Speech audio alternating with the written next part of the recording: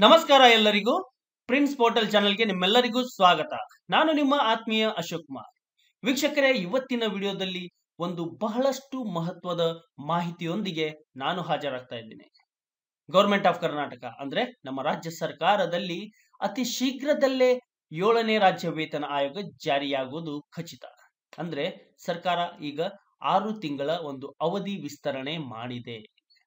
ಈ ಅವಧಿ ವಿಸ್ತರಣೆಯ ನಂತರ ನಮ್ಮ ರಾಜ್ಯದಲ್ಲಿ ಏಳನೇ ರಾಜ್ಯ ವೇತನ ಆಯೋಗ ಜಾರಿಯಾಗುವುದು ಖಚಿತ ನಿಶ್ಚಿತ ಅಂತಾನೆ ಹೇಳ್ಬೋದು. ಆದ್ಮೇಲೆ ಏಳನೇ ರಾಜ್ಯ ವೇತನ ಆಯೋಗದ ಭಾಗ್ಯ ನಮ್ಮ ರಾಜ್ಯ ಸರ್ಕಾರಿ ನೌಕರರಿಗೆ, ಪಿಂಚಣಿದಾರರಿಗೆ, ನಿವೃತ್ತರಿಗೆ ಸಿಗುವ ಒಂದು ಅತಿ ದೊಡ್ಡ ಭಾಗ್ಯ ಅಂತಾನೆ ಹೇಳ್ಬೋದು. ಇವತ್ತಿನ ವಿಡಿಯೋ ಅತ್ಯಂತ ದೊಡ್ಡ ಬ್ರೇಕಿಂಗ್ ನ್ಯೂಸ್ ಆಗಿರುತ್ತೆ. ಅತಿ ಶೀಘ್ರದಲ್ಲೇ ನಮ್ಮ ನೌಕರರಿಗೆ ಸಿಗಲಿದೆ ಏಳನೇ ವೇತನ ಆಯೋಗದ ಭಾಗ್ಯ, ಭಾಗ್ಯಗಳ ಸರದಾರ ನಮ್ಮ ಸಿದ್ದರಾಮಯ್ಯನವರು. ಸಿದ್ದರಾಮಯ್ಯನವರು ನೀಡುವ ಆರರಿಂದ ಏಳನೇ ವೇತನ ಆಯೋಗದ ಅತಿ ದೊಡ್ಡ ಬದಲಾವಣೆಯ ಮಾಹಿತಿ ನಾನು ನಿಮಗೆ ಈ ವಿಡಿಯೋ ಮುಖಾಂತರ ನೀಡ್ತಾ ಇದ್ದೀನಿ. ಕೋಟ್ಯಾಂತರ ನೌಕರರು ಮತ್ತು ಪಿಂಚಣಿದಾರರ ವೇತನ ಆಗಲಿದೆ ದುಪ್ಪಟ್ಟು. ಮಾಹಿತಿ ತಿಳಿಯಲು ಈ ವಿಡಿಯೋ ನೀವು ಸಂಪೂರ್ಣವಾಗಿ ವೀಕ್ಷಣೆ ಮಾಡಲೇಬೇಕಾಗತ್ತೆ. ನಮ್ಮ ನೌಕರರಿಗೆ ಸಿಗ್ತಾ ಇರುವಂತ ಜಾಬ್ ಪಾಟ್ ಅಂದ್ರೆ ಅವರ ಬೃಹತ್ ಬದಲಾವಣೆಯ ಮಾಹಿತಿ ನಾನು ಇವತ್ತಿನ ವಿಡಿಯೋದಲ್ಲಿ ಸವಿಸ್ತಾರವಾಗಿ ಚರ್ಚೆ ಮಾಡಲಿದ್ದೇನೆ. ವೀಕ್ಷಕರೇ ಬ್ರೇಕಿಂಗ್ ನ್ಯೂಸ್ ನೋಡಲು ದಯವಿಟ್ಟು ಸಂಪೂರ್ಣವಾಗಿ ವಿಡಿಯೋ ವೀಕ್ಷಣೆ ಮಾಡಲೇಬೇಕಾಗತ್ತೆ. ಆತ್ಮೀಯರೇ ಪ್ರಿನ್ಸ್ ಪೋರ್ಟಲ್ ಚಾನಲ್ ಇದು ನಿಮ್ಮ ಚಾನಲ್ ಮೊದಲನೇ ಬಾರಿಗೆ ಅಥವಾ ಸಬ್ಸ್ಕ್ರೈಬ್ ಮಾಡದೇ ಇದ್ದರೆ ದಯವಿಟ್ಟು ಸಬ್ಸ್ಕ್ರೈಬ್ ಮಾಡ್ಕೊಳ್ಳಿ. ಮತ್ತು ಸೈಡಿಗೆ ಬೆಲ್ ಬಟನ್ ಕೂಡ ಆಲ್ ಅಂತ ಸೆಲೆಕ್ಟ್ ಮಾಡ್ಕೊಳ್ಳಿ. ನಾ ಮಾಡುವ ಎಲ್ಲ ಮಾಹಿತಿಗಳು ನಿಮ್ಮ ಮೊಬೈಲ್ ಸ್ಕ್ರೀನ್ ಮೇಲೆ ರಿಫ್ಲೆಕ್ಟ್ ಆಗುತ್ತೆ. ನೋಟಿಫಿಕೇಶನ್ ಮುಖಾಂತರ ಅದನ್ನು ಕ್ಲಿಕ್ ಮಾಡಿ, ವೀಕ್ಷಣೆ ಮಾಡಿ, ಒಳ್ಳೆ ಒಳ್ಳೆಯ ಮಾಹಿತಿ ಪ್ರಿನ್ಸ್ ಪೋರ್ಟಲ್ ಕಡೆಯಿಂದ ನೀವು ಸದಾ ಪಡಿತಾನೆ ಇರ್ತೀರ. ಏನಾದರೂ ಪ್ರಾಬ್ಲಮ್ ಪ್ರಾಬ್ಲಮ್ ಅಥವಾ ಪ್ರಶ್ನೆಗಳಿದ್ರೆ ಡಿಸ್ಕ್ರಿಪ್ಷನ್ ಬಾಕ್ಸ್ನಲ್ಲಿ ನೀವು ಬರೆಯಬಹುದು. ಟೆಲಿಗ್ರಾಮ್ನಲ್ಲಿ ಕೂಡ ನೀವು ಬರೆಯಬಹುದು. ಆಲ್ರೆಡಿ ನಾನು ಟೆಲಿಗ್ರಾಮ್ ಲಿಂಕ್ ಕೂಡ ನಾನು ಡಿಸ್ಕ್ರಿಪ್ಷನ್ ಬಾಕ್ಸ್ನಲ್ಲಿ ಶೇರ್ ಮಾಡಿದ್ದೀನಿ. ಅದನ್ನು ಕ್ಲಿಕ್ ಮಾಡಿ ಕ್ಲಿಕ್ ಮಾಡಿ ಜಾಯ್ನ್ ಆಗಿ ನೀವು ನನ್ನ ಸಂಪರ್ಕದಲ್ಲಿ ಇರಬಹುದು ನಿಮ್ಮ ಸಮಯ ವ್ಯರ್ಥ ಮಾಡದೆ ಇವತ್ತಿನ ಈ ಬ್ರೇಕಿಂಗ್ ನ್ಯೂಸ್ ನಾನು ಪ್ರಾರಂಭ ಮಾಡ್ತಾ ಇದ್ದೀನಿ. ದಯವಿಟ್ಟು ಫಾಲೋ ಮಾಡಿ. ಸಮಸ್ತ ಕರುನಾಡ ಬಂಧುಗಳಿಗೆ ಮತ್ತೊಮ್ಮೆ ಪ್ರಿನ್ಸ್ ಪೋರ್ಟಲ್ ಚಾನೆಲ್ಗೆ ಸ್ವಾಗತ. ವೇತನ ಶ್ರೇಣಿ ಹದಿನೇಳರಲ್ಲಿ ಬರುವಂತ ನಮ್ಮ ರಾಜ್ಯ ಸರ್ಕಾರಿ ನೌಕರರ ಒಂದು ವೇತನದ ಮಾಹಿತಿ ಅಂದ್ರೆ ಆರು ತಿಂಗಳ ಅವಧಿ ವಿಸ್ತರಣೆ ಆದ ನಂತರ ನಮ್ಮ ರಾಜ್ಯದಲ್ಲಿ ಸೆವೆಂತ್ ಪೇ ಕಮಿಷನ್ ಏಳನೇ ರಾಜ್ಯ ವೇತನ ಆಯೋಗ ಅನುಷ್ಠಾನಕ್ಕೆ ಬರುತ್ತದೆ. ಅವಾಗ ನಮ್ಮ ನೌಕರರಿಗೆ ವೇತನ ಶ್ರೇಣಿ ಹದಿನೇಳರಲ್ಲಿ ಬರುವಂತ ನಮ್ಮ ರಾಜ್ಯ ಸರ್ಕಾರಿ ನೌಕರರಿಗೆ ಅವರಿಗೆ ವೇತನ ಯಾವ ರೀತಿ ಬದಲಾವಣೆ ಆಗುತ್ತೆ? Seventh pay commission Karnataka two thousand twenty three ಅಂತ ನಾನು ಇಲ್ಲಿ ಬರೆದಿದ್ದೇನೆ, ಆದ್ರೆ ಇದು ಆಗುವುದು ಟೂ ತೌಸಂಡ್ ಟ್ವೆಂಟಿ ಫೋರ್ನಲ್ಲಿ. ಈ ಎರಡ್ ಸಾವಿರದ ಇಪ್ಪತ್ನಾಲ್ಕನೇ ಸಾಲಿನಲ್ಲಿ ಕಂಪ್ಲೀಟ್ ಸ್ಯಾಲರಿ ಇನ್ಫಾರ್ಮೇಶನ್ ಯಾವ ರೀತಿ ಬೃಹತ್ ಬದಲಾವಣೆಯ ಒಂದು ಸ್ವರೂಪ ಪಡೆಯಲಿದೆ ಅನ್ನೋದು ನಾನು ನಿಮಗೆ ಈ ಟೇಬಲ್ ಮುಖಾಂತರ ಚರ್ಚೆ ಮಾಡ್ತಾ ಇದ್ದೀನಿ. ವೇತನ ಶ್ರೇಣಿ ಹದಿನೇಳರಲ್ಲಿ ನಮ್ಮ ರಾಜ್ಯ ಸರ್ಕಾರಿ ನೌಕರರ ಒಂದು ಮೂಲ ವೇತನ, ಐದನೇ ವೇತನ ಆಯೋಗದಲ್ಲಿ ಮೂವತ್ತೆಂಟು ಸಾವಿರದ ಒಂದು ನೂರು ರೂಪಾಯಿ, ಮೂವತ್ತೊಂಬತ್ತು ಸಾವಿರ ರೂಪಾಯಿ, ನಲವತ್ತು ಸಾವಿರದ ಐವತ್ತು ರೂಪಾಯಿ. ಈ ಮೂಲ ವೇತನ ಆರನೇ ವೇತನ ಆಯೋಗದಲ್ಲಿ ಎಪ್ಪತ್ತು ಸಾವಿರದ ಎಂಟುನೂರ ಐವತ್ತಕ್ಕೆ ಬದಲಾವಣೆ ಆಗಿತ್ತು. ಈಗ ಈ ಮೂಲ ವೇತನಕ್ಕೆ ಮೂವತ್ತೆಂಟು ಪಾಯಿಂಟ್ ಏಳು ಐದು ಪರ್ಸೆಂಟ್ಗೆ ಡಿಯರ್ನೆಸ್ ಅಲವನ್ಸ್ ಆಗಿ ಇಪ್ಪತ್ತೇಳು ಸಾವಿರದ ನಾಲ್ಕುನೂರ ಐವತ್ನಾಲ್ಕು ರೂಪಾಯಿ ಲಭ್ಯವಿದೆ. ಈ ಆರನೇ ವೇತನ ಆಯೋಗದ ಮೂಲ ವೇತನ ಮತ್ತು ತುಟ್ಟಿ ಭತ್ತೆ ಇನ್ನಿತರ ಫ್ಯಾಕ್ಟರ್ಗಳನ್ನು ಒಂದು ಗಮನಿಸಿ. ಅತ್ಯಂತ ಕುಲಂಕುಷವಾಗಿ ಸೂತ್ರದೊಂದಿಗೆ ನಾವು ಒಂದು ಮಿಲನ ಮಾಡಿದಾಗ ನಮಗೆ ಎಕ್ಸ್ಪೆಕ್ಟ್ ಮಾಡಬಹುದಾದ ಒಂದು ಹೊಸ ಮೂಲ ವೇತನ ತೊಂಬತ್ತೈದು ಸಾವಿರದ ಆರುನೂರ ನಲವತ್ತೆಂಟು ರೂಪಾಯಿ. ಈ ಹೊಸ ಮೂಲ ವೇತನ ಒಂದು ನೇರೆಸ್ಟ್ ಡಿಜಿಟ್ಗೂ ಕೂಡ ಫಿಕ್ಸ್ ಮಾಡುವ ಸಾಧ್ಯತೆ ಇರುತ್ತೆ. ನೀವು ಸ್ಯಾಲ್ರಿ ನೋಡಬೇಕಾದ್ರೆ ಒಂದು ಲಕ್ಷದ ಇಪ್ಪತ್ನಾಲ್ಕು ಸಾವಿರದ ಮುನ್ನೂರ ನಲವತ್ತೆರಡು ರೂಪಾಯಿ ಆಗುವುದು ಖಚಿತ ಅಂತಾನೆ ಹೇಳ್ಬೋದು. ಅದಾದ ನಂತರ ನಲವತ್ತೊಂದು ಸಾವಿರದ ಒಂದೂರಿಂದ ಎಪ್ಪತ್ತೆರಡೂವರೆ ಸಾವಿರಕ್ಕೆ ಬದಲಾಗತ್ತೆ. ಇಲ್ಲಿಂದ ಬದಲಾವಣೆ ಶುರು ಆಗ್ತಾ ಹೋಗುತ್ತೆ. ಇದಕ್ಕೆ ತುಟ್ಟಿ ಬತ್ತೆಯಾಗಿ ಇಪ್ಪತ್ತೆಂಟು ಸಾವಿರದ ತೊಂಬತ್ನಾಲ್ಕು ರೂಪಾಯಿ ಮತ್ತು ಒಂದು ಪ್ರೆಡಿಕ್ಟ್ ಮಾಡಬಹುದಾದ ಒಂದು ಹೊಸ ಮೂಲ ವೇತನ ತೊಂಬತ್ತೇಳು ಸಾವಿರದ ಎಂಟುನೂರ ಎಪ್ಪತ್ತೈದು ರೂಪಾಯಿ. ಆದರೆ ಇಲ್ಲಿ ವೇತನ ಒಂದು ಲಕ್ಷದ ಇಪ್ಪತ್ತೇಳು ಸಾವಿರದ ಏಳ್ನೂರ ಮೂವತ್ತೆಂಟು ರೂಪಾಯಿ ಆಗೋದು ಖಚಿತ, ನಿಶ್ಚಿತ ಅಂತಾನೆ ಹೇಳ್ಬೋದು. ನಲವತ್ತೆರಡು ಸಾವಿರದ ಒಂದೂರ ಐವತ್ತು ಹೋಗಿ ಎಪ್ಪತ್ನಾಲ್ಕು ಸಾವಿರದ ನಾಲ್ಕುನೂರಕ್ಕೆ ಬದಲಾವಣೆ ಆಗುತ್ತೆ ಇಪ್ಪತ್ತೆಂಟು ಸಾವಿರದ ಎಂಟುನೂರ ಮೂವತ್ತು ರೂಪಾಯಿ ಡಿಯರ್ನೆಸ್ ಅಲವನ್ಸ್ ಮೂವತ್ತೆಂಟು ಪಾಯಿಂಟ್ ಏಳು ಐದು ಪರ್ಸೆಂಟ್ಗೆ. ಮೂವತ್ತೈದರಿಂದ ಮೂರು ಮೂವತ್ತೆಂಟು ಪಾಯಿಂಟ್ ಏಳು ಐದು ಪರ್ಸೆಂಟ್ಗೆ ಬದಲಾವಣೆ ಆಗಿದೆ ಅಂದ್ರೆ ಹೈಕ್ ಆಗಿರುವ ಒಂದು ಡಿಯರ್ನೆಸ್ ಅಲವನ್ಸ್ ಅನ್ನ ಒಂದು ಪರ್ಸೆಂಟೇಜ್ ನೋಡೋದಾದ್ರೆ three point seven five percent ಅಷ್ಟು ಹೈಕ್ ಆಗಿದೆ.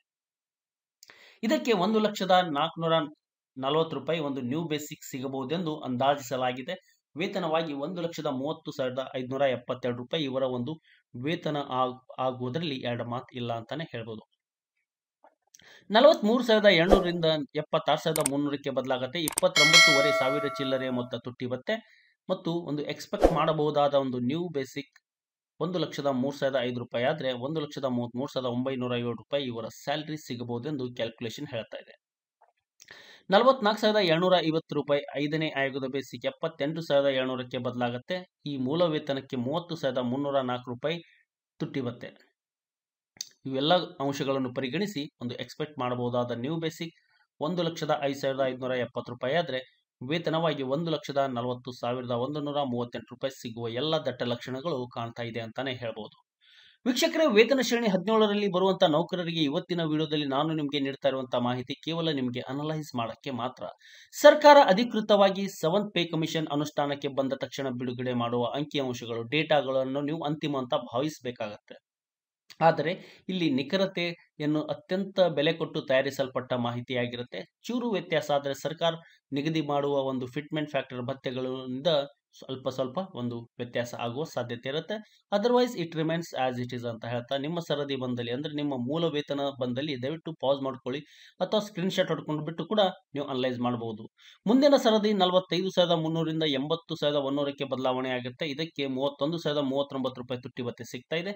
ನ್ಯೂ ಬೇಸಿಕ್ ಒಂದು ಎಕ್ಸ್ಪೆಕ್ಟ್ ಮಾಡೋದಾದ್ರೆ ಒಂದು ಲಕ್ಷದ ಎಂಟು ಸಾವಿರದ ಒಂದೂರ ಮೂವತ್ತೈದು ರೂಪಾಯಿ ಮತ್ತು ಸ್ಯಾಲರಿಯಾಗಿ ಒಂದು ಲಕ್ಷದ ನಲವತ್ಮೂರುವರೆ ಸಾವಿರ ರೂಪಾಯಿ ಒಂದು, ಈ ಮೊತ್ತದ ಒಂದು ಹ್ಯೂಜ್ ಅಮೌಂಟ್ ಇವರಿಗೆ ಸಿಗುವ ಎಲ್ಲ ಸಾಧ್ಯತೆ ಇದೆ ಅಂತಾನು ಹೇಳ ಹೇಳಲಾಗುತ್ತದೆ ನಲವತ್ತಾರು ಸಾವಿರದ ಐದುನೂರಿಂದ ಎಂಬತ್ತೆರಡುವರೆ ಎಂಬತ್ತೆರಡು ಸಾವಿರಕ್ಕೆ ಬದಲಾಗುತ್ತೆ. ಇದಕ್ಕೆ ಮೂವತ್ತೊಂದು ಸಾವಿರದ ಏಳ್ನೂರ ಎಪ್ಪತ್ತೈದು ರೂಪಾಯಿ ತುಟ್ಟಿ ಬತ್ತೆ ಒಂದು ಏಳನೇ ರಾಜ್ಯ ವೇತನ ಆಯೋಗ ಸೆವೆಂತ್ ಪೇ ಕಮಿಷನ್ನಲ್ಲಿ ನಮ್ಮ ರಾಜ್ಯ ಸರ್ಕಾರಿ ನೌಕರರ ಸಂಘದ ಬೇಡಿಕೆಯಂತೆ, ನಮ್ಮೆಲ್ಲರ ನಿಮ್ಮ ನಮ್ಮೆಲ್ಲರ ಬೇಡಿಕೆಯಂತೆ ಒಂದು ಲಕ್ಷದ ಹತ್ತು ಸಾವಿರದ ಏಳ್ನೂರು ರೂಪಾಯಿ ಒಂದು ನ್ಯೂ ಬೇಸಿಕ್ ಆದ್ರೆ ಒಂದು ಲಕ್ಷದ ನಲವತ್ತಾರು ಸಾವಿರದ ಒಂಬೈನೂರ ನಲವತ್ತೆಂಟು ರೂಪಾಯಿ ಇವರ ಒಂದು ಸ್ಯಾಲ್ರಿ ಕೂಡ ಆಗುವ ಎಲ್ಲ ಸಾಧ್ಯತೆ ಇದೆ ಅಂತಾನೆ ಹೇಳ್ಬಹುದು ನಲವತ್ತೇಳು ಸಾವಿರದ ಏಳ್ನೂರಿಂದ ಎಂಬತ್ಮೂರು ಸಾವಿರದ ಒಂಬತ್ನೂರಕ್ಕೆ ಐದರಿಂದ ಆರನೇ ವೇತನ ಆಯೋಗದ ಮೂಲ ವೇತನದಲ್ಲಿ ಬೃಹತ್ ಬದಲಾವಣೆಯಾಗಿದೆ.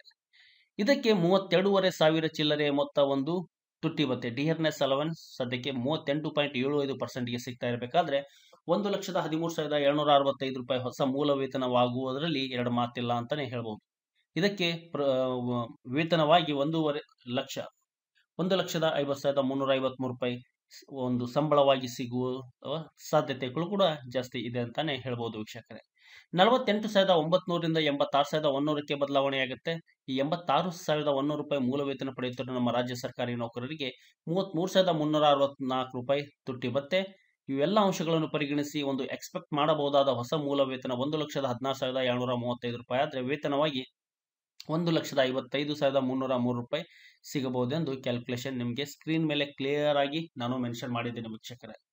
ಕೊನೆಯದಾಗಿ ವೇತನ ಶ್ರೇಣಿ ಹದಿನೇಳರಲ್ಲಿ ಬರುವಂತಹ ನೌಕರರಿಗೆ ಇವತ್ತಿನ ಕೊನೆಯ ಡೇಟಾ ಐವತ್ತು ಸಾವಿರದ ಒಂದೂರಿಂದ ಎಂಬತ್ತೆಂಟು ಸಾವಿರದ ಮುನ್ನೂರು ಮುನ್ನೂರು ರೂಪಾಯಿ ಐದರಿಂದ ಆರನೇ ವೇತನ ಆಯೋಗದ ಮೂಲ ವೇತನದಲ್ಲಿ ಬೃಹತ್ ಬದಲಾವಣೆಯಾಗಿರುತ್ತೆ. ಮೂವತ್ನಾಲ್ಕು ಸಾವಿರದ ಏಳ್ನೂರ ಹದಿನಾರು ರೂಪಾಯಿ ತುಟ್ಟಿ ಭತ್ತೆ ಇವೆಲ್ಲ ಫ್ಯಾಕ್ಟರ್ಸ್ಗಳನ್ನು ಒಂದು ಕ್ಯಾಲ್ಕುಲೇಷನ್ನಲ್ಲಿ ಇಟ್ಟಾಗ ಒಂದು ಒಂದು ಲಕ್ಷದ ಹತ್ತೊಂಬತ್ತು ಸಾವಿರದ ಏಳ್ನೂರ ಐದು ರೂಪಾಯಿ ಹೊಸ ಮೂಲ ವೇತನ ಆಗಬಹುದು ಎಂದಾದರೆ ಇಲ್ಲಿ ಒಂದು ಲಕ್ಷದ ಐವತ್ತೊಂಬತ್ತು ಸಾವಿರದ ಏಳ್ನೂರ ಎಪ್ಪತ್ತೊಂದು ರೂಪಾಯಿ ಇವರ ಸ್ಯಾಲ್ರಿ ಆಗೋದ್ರಲ್ಲಿ ಎರಡು ಮಾತೇ ಇಲ್ಲ ಅಂತಾನೆ ಹೇಳ್ಬೋದು. ವೀಕ್ಷಕರೇ, ವೇತನ ಶ್ರೇಣಿ ಹದಿನೇಳರಲ್ಲಿ ಇವತ್ತಿನ ವಿಡಿಯೋದಲ್ಲಿ ನಾನು ನಿಮಗೆ ನೀಡ್ತಾ ಇರುವಂತಹ ಮಾಹಿತಿ ಕೇವಲ ನಿಮಗೆ ಅನಲೈಸ್ ಮಾಡಕ್ಕೆ ಮಾತ್ರ ಸರ್ಕಾರ ಅಧಿಕೃತವಾಗಿ ಘೋಷಣೆ, ಏಳನೇ ರಾಜ್ಯ ವೇತನ ಆಯೋಗ ಘೋಷಣೆಯಾದ ನಂತರ ಬಿಡುಗಡೆ ಮಾಡುವ ಅಂಕಿಅಂಶ ಮತ್ತು ಪ್ರಿನ್ಸ್ ಪೋರ್ಟಲ್ ಕಡೆಯಿಂದ ನಾನು ನಿಮಗೆ ನೀಡ್ತಾ ಇರುವಂತಹ ಅಂಕಿಅಂಶಗಳು ಮುಂಬರುವ ದಿನದಲ್ಲಿ, ಅಂದ್ರೆ ಏಳನೇ ರಾಜ್ಯ ವೇತನ ಆಯೋಗ ಅನುಷ್ಠಾನಕ್ಕೆ ಆದಲ್ಲಿ ನಿಮಗೆ ಕ್ರಾಸ್ ವೆರಿಫಿಕೇಶನ್ ಆಗ, ಮಾಡಕ್ಕೆ ತುಂಬಾನೇ ಹೆಲ್ಪ್ ಆಗುತ್ತೆ ಅಂತ ನಾನು ಭಾವಿಸ್ತಾ ಇದ್ದೀನಿ. ನಾನು ನಿಮಗೆ ನೀಡ್ತಾ ಇರುವಂತಹ ಮಾಹಿತಿ ಸಂಪೂರ್ಣವಾಗಿ ತೃಪ್ತಿಕರ ಆಗಿದೆ ಅಂತ ಭಾವಿಸ್ತಾ ಇದ್ದೀನಿ. ವಿಡಿಯೋ ಇಷ್ಟ ಆದರೆ ಲೈಕ್ ಮೂಲಕ ಒಂದು ಸಪೋರ್ಟ್ ನೀಡಿ ವೀಕ್ಷಕರೇ. ಹೀಗೆ ವಿಡಿಯೋ ನೋಡ್ತಾ ಇರಿ ನೋಡ್ತಾ ಇರಿ ನೋಡ್ತಾ ಇರಿ, ಪ್ರತಿಯೊಬ್ಬರಿಗೂ ಶೇರ್ ಮಾಡ್ತಾ ಇರಿ. ಒಳ್ಳೆ ಒಳ್ಳೆ ಮಾಹಿತಿ ತಲುಪಿಸುವ ಜವಾಬ್ದಾರಿ ನಂದಾಗಿತ್ತು. ಪ್ರೋತ್ಸಾಹ ಕೊಡುವ ಜವಾಬ್ದಾರಿ ನಿಮ್ದಾಗಬೇಕು. ಮತ್ತೊಮ್ಮೆ ತಮ್ಮೆಲ್ಲರಿಗೂ ರಿಕ್ವೆಸ್ಟ್ ಮಾಡ್ತಾ ಇದ್ದೀನಿ. ದಯವಿಟ್ಟು ನನ್ನ ಈ ಪುಟ್ಟ ಪ್ರಯತ್ನಕ್ಕೆ ನಿಮ್ಮ ಬೆಂಬಲ ಸದಾ ಇರಲಿ ವಿಡಿಯೋ ನೋಡಿದ ಪ್ರತಿಯೊಬ್ಬಕರು ನಾಡ ಮಹನೀಯರಿಗೆ ಧನ್ಯವಾದಗಳನ್ನು ಸಲ್ಲಿಸುತ್ತಾ ವಿಡಿಯೋ ವೈಂಡ್ ಅಪ್ ಮಾಡ್ತಾ ಇದ್ದೀನಿ. ಜೈ ಹಿಂದ್, ಜೈ ಕರ್ನಾಟಕ. ಬಾರಿಸು ಕನ್ನಡ ಡಿಮ್ ಡಿಮುವ ನಿಮ್ಮೆಲ್ಲರ ದಿನ ಶುಭವಾಗಲಿ. ನಮಸ್ಕಾರ.